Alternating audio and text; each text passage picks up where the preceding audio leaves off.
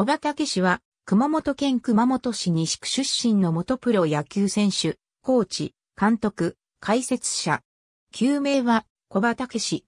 監督として、広島東洋カープを、球団史上初のリーグ優勝、日本一に導いた。退任後は、公益社団、法人少年軟式野球国際交流協会理事、長、全日本大学軟式野球連盟名誉会長、東京国際大学名誉監督などを務めた。小町国民学校出身。父は、鋳物会社を経営していたが、戦後に倒産し裕福な暮らしが一転する。再々高校校では2年時の1953年、三塁手として春の選抜に出場。一年上のエース山本勘介の高騰もあり、準々決勝に進むが、片岡幸雄のいた何は賞に延長13回0の1で敗退。山本以外のチームメイトに二塁手の秋元結徳がいる。同年には夏の甲子園県予選で準優勝、西九州大会準決勝に進むが、佐賀校に敗れる。3年時の1954年夏も西九州大会でトス校に完封負けを喫し、夏の甲子園には届かなかった。高校卒業後は1955年に専修大学に進学し、大学同期には後に、プロでもチームメイトとなる、沖津達夫がいた。同年夏休み、母校の最最高のグラウンドに出向き後輩にプレーを見せていたところ、偶然来校していた日鉄二世の農人渡る監督の目に留まり、日鉄工業への入社を勧められる。そこで、専修大学を中退し、日鉄工業に入社。日鉄二世では1956年から都市対抗に2年連続出場。1957年の大会では1回戦で金か金か論と対戦し、この試合で日鉄二世の村上俊海投手が大会史上初の完全試合を達成している。当時のチームメイトには後にプロ入りする江藤真一、吉田勝豊、伊広らが揃っていた。1957年12月に同僚である江藤の入団交渉に来ていた広島カープの白石克美監督に対し、農人は小場を売り込み、小場は広島へ入団の運びとなった。東映フライヤーズからも誘いがあったが、小場の選手タイプと選手層が薄く、出番が見込めることを踏まえ、農人は広島を選んだという。なお、この入団契約の席に小葉は参加していない。小葉は契約当日にぎっくり腰になってしまい、契約取り消しになってはまずい。何が何でも風邪で通そうと小葉の兄が代理で契約に当たった。1958年に広島へ入団。春のキャンプでは当時遊撃手のレギュラーであった米山光夫の流れるような守備動作に驚き自信を失いかけるが、白石のオープン戦で3割打ったら使ってやるとの言葉に、8分。オープン戦で3割、近い好成績を残し、同じ新人の小坂義高、森永勝治と共にレギュラーを獲得する。終盤骨折したが、それまでほぼフル出場となる88試合に出場した。8月10日の国鉄戦で、金田正一からサヨナラ本塁打を打った。2年目の1959年には規定打席に到達して打率。229、3年目の1960年には打率。267、1961年には打率。286でリーグ5位に入るなど2番を任されて年々成績を向上させる。1963年はオールスターゲームに初めて出場して第3戦で MVP を獲得する。これで勢いづいた小葉は、長島茂雄と熾烈な首位打者争いを演じ、小葉も一度はトップに立ったものの、同年9月29日の太陽戦で、島田源太郎のシュートを顎に受けて、負傷退場、下顎の骨は、真二つに割れた。残りわずか13試合でのアクシデントであり、俺は球場へ行く。俺を待っているファンのためにどうしても打席に立つ、と病院のベッドで痛みに耐えつつうめくようにつぶやいた。小葉のもとへは、君の気持ちよくわかる一日も早い午前会を祈ると、長島から電報が届けられている。この時点で、小場のシーズンは終了して打率339となり、わずかに輪差で長島がタイトルを獲得したが、小場もベストナインに選出された。1964年は子宮の後遺症から腰が引けて打撃に支障をきたすようになったため、機動力を前面に押すプレースタイルへ移行。打率は218で打撃成績再開と前年度から大きくダウンするも、自己最多の57盗塁を記録し、盗塁王に輝いた。1965年以降は二塁手にコンバートし、1968年にも39盗塁で二度目の盗塁王を獲得。小場のこの機動力重視スタイルへの転換は、後の監督時代のチーム作りの礎となった。根本睦夫監督とぶつかって出場機会を失いつつあった1970年、小場は野村克也選手兼任監督に壊れて、国貞康博との交換トレードで、白野勝弘と共に南海ホークスに移籍した。だが、キャンプ前に中本球場でトレーニングとしてバック転をしていた際、ムチ打ち症を起こして首を痛め、キャンプでトレーニングができないまま開幕を迎えることになった。ムチ打ち症の後遺症で指に麻痺が残り、ゴロを補給してもグローブの中からボールをこぼしてしまうなどがあったが、小場は騙し騙しプレーを続け、83試合に出場して打率274を記録する。1971年は後遺症こそ和らいだが48試合の出場に止まり、小場はこの年限りで現役を引退した。南海でプレーした2年間は満足な結果を残すことができなかったという。引退後は南海で2軍守備、走塁コーチ1軍守備、走塁コーチを務め、当時南海の投手であった江本武則は、小場さんは人の良さそうな顔をしてますが、腹は座っていました。広島監督になる前は南海ホークスの守備コーチだったんですが、僕が先発してノックアウトされた試合、野村さんのリードで打たれ、ベンチに戻って頭に血が昇っていてね。ベンチで文句を言ったんです。チームメイトの誰も僕の暴走を止められない中、小葉さんがバッと来て、やめとけよ。たった一言ですが、この人、やばいなとねと語っている。二軍時代は、藤原光、片平新作、柏原淳一を指導し、小葉は現役時代は一度も二軍に落ちたことがなかったので、若手を鍛える日々はとても新鮮でしたと語っている。一軍に昇格した1973年にはリーグ優勝に貢献し、同年リーグを制した経験から相手のチームと比較して自分たちの弱点をどう克服してゆくか、何が足りないかを考え改善してゆくというチーム作りにおいての基本方針を学んだ。1974年には野村から強く引き止められたが、大学の先輩かつ広島同期入団の森永、勝也監督の要請で、古巣、広島に一軍守備コーチとして復帰。1972年オフに自由契約となり、1年間の浪人生活をしていた高橋聡は、小場の誘いで打撃投手に就任。高橋はシーズン中に投手に復帰し、1977年に20勝14敗で最多勝ちを獲得した。1975年には15試合で帰国したジョー・ルーツ監督の後を継いで5月に監督に就任し、快進撃を見せ10月15日の巨人戦で球団史上初のリーグ優勝をもたらした。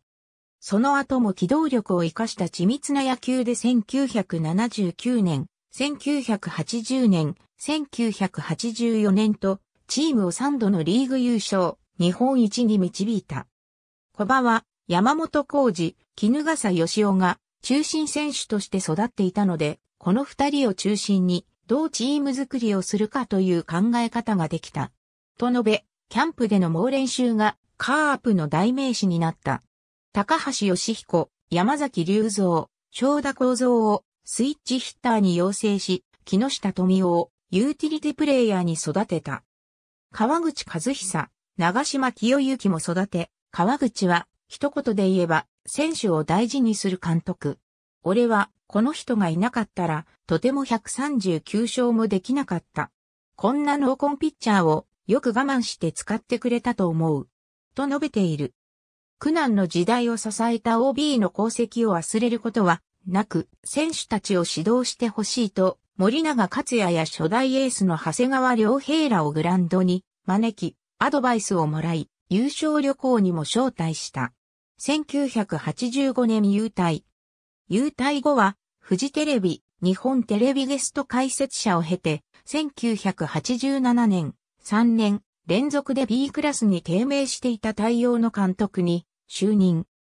広島時代に対戦していた時から明らかな戦力不足を感じており、フロントからは新チーム作りへの熱意と全てを任せるという言葉を得た。一方、同一リーグ内での監督復帰であったことから、ファンから手厳しい声もあった。小場は後年、私は選手を鍛え直すため、ハードな練習を課しました。うるさいこと言うなぁと思われていたことでしょう。しかしカープの選手との違いは明らかでした。例えば、広島で練習の虫と言われた高橋義彦選手は T 打撃から強振し、1日に何百スイングもこなしました。一方、太陽の選手はカゴの球を振っただけで足が痛いと訴えるケースもありましたと述べている。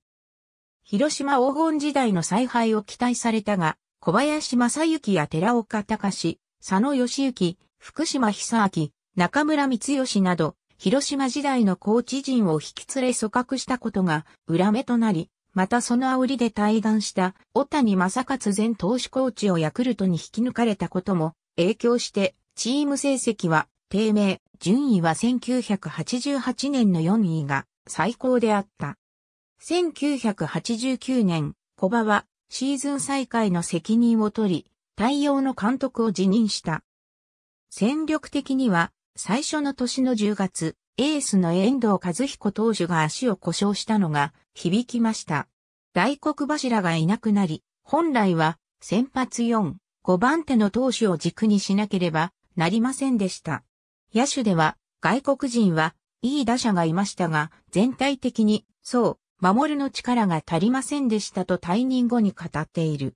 一方で、1988年に広島の名スカウト小馬京を招聘した。1998年の優勝時の主力でもある、広島県出身の野村博樹、谷重元信や石井拓郎らは、小馬の在任時に獲得した選手である。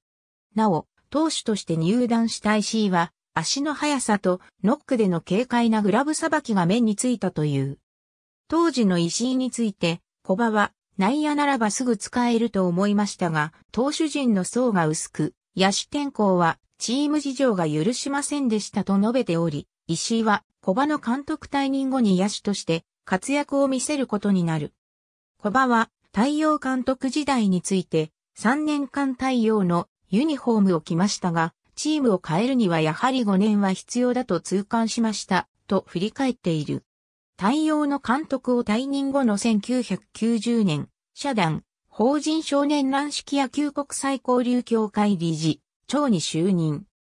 1993年から東海テレビ放送、東海ラジオ放送、三重テレビ放送解説者、東京中日スポーツ評論家として活動。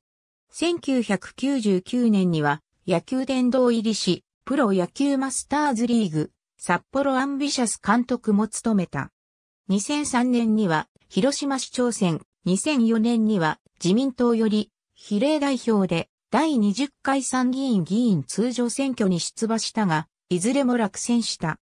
2003年の市長選で小場の選対事務局長を務めた人物が対立候補であった秋葉忠俊の当選を妨害する目的で嘘を書いた中小ビラを配布し、公職選挙法違反で逮捕された。2006年、NPO、法人全国社会福祉事業援助協会の理事会長に就任。2007年から東京国際大学監督に就任することが決まったが、札幌アンビシャスでの活動がプロ活動とみなされ、2年経過しなければアマチュア登録をすることができなかった。そのため、当初は三男の小場隆明が監督に就任し、自らはアドバイザーとしてベンチ入りはしない指導者となった。2008年4月より正式に監督就任。2011年5月31日、東京新大学野球春季リーグ戦で初優勝を果たし、6月の全日本大学野球選手権大会では、首都大学野球連盟所属の古豪日体大に1回の1点を守りきり、スコア1から0の新章で逃げ切り、ベスト4に進んだ。しかし、準決勝では、江藤の実定でもある、江藤正蔵率いる慶応義塾大学とのプロ出身監督対決にスコア4から6にて敗れた。2021年11月12日、小葉は心不全のため、東京都内の病院で没した。85歳没。小葉は、マスコミやファンに対しては温厚な姿勢だったが、いざという時の腹は相当座っており、戦術の英元の剣にもあるように怒らせると本当に怖かったという。また、選手に対しては鉄拳制裁を辞さない、厳しい指導をしたことで有名である。これは、小葉の孫に対しても同じで、鉄拳を見舞ったこともあったと、自ら明かしている。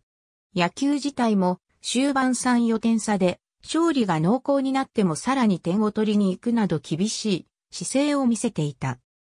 例えば、絹笠義雄が三宅修士の持つ連続フルイニング出場記録にあと22試合と迫っていることを知っていながら、極度の不振を理由にスターティングメンバーから外したり、1979年の日本シリーズ第7戦では9回裏にリリーフエース、江夏が虫満塁のピンチを迎えた時に、北別府学池谷幸次郎に投球練習を始めさせるなど、妥協を許さない采配が特徴だった。ただし、タイトル争いで温情を見せたこともある。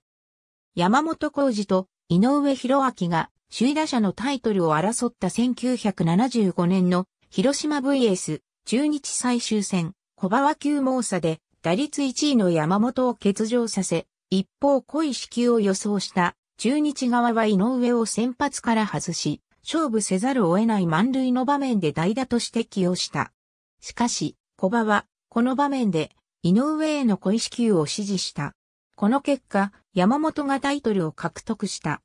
これが小葉にとって公式戦初のタイトル争いのための満塁での小石球となった。ベンチの端から忍者のように大半分を出したり隠れたりする癖が有名。そのことを、約光や石井被災地や河合淳二などの描いた野球漫画でよくネタにされた。小葉自身に言わせると、あそこが一番グラウンド全体が見渡せるとのこと。また、南海のコーチ時代、攻撃時の三塁コーチは、ドンブレイザー、一塁コーチを小葉が務めていた。座右の銘は、耐えて勝つ。同題の著書もある。しかし、大洋監督時代は、成績の悪さから、勝つまで耐えると、揶揄されたりもした。広島監督時代は、勝利のゲンを担ぐために、広島市民球場の近くの喫茶店で卵カレーを食べていた。広島原爆の日に日本テレビ系、ズームイン、朝の朝の歌に出演し、峠三吉の上朗読したことがある。選手の仲人を10人以上務めている。当初は池谷幸次郎以外の仲人を唯一の例外として選手に情が移ると周りから思われることを理由に断り続けてきたが、1985年の高橋義彦、川口和久、長島清之ら主力に育てた若手の結婚ラッシュの時は監督しかえないと頼まれ、そのほぼ全員の仲人を務めることになった。弟の小葉福生は、広島県北川工業高等学校の野球部の監督を務めていた。福生の教え子には、伊原春樹がいて、伊原も著書の中で最初の恩人と記している。広島の現役時代の同僚で監督として1975年1984年の日本シリーズで小葉と対決した上田理事も小葉のことを厳しさと優しさを持ったいい監督と語っている。ありがとうございます。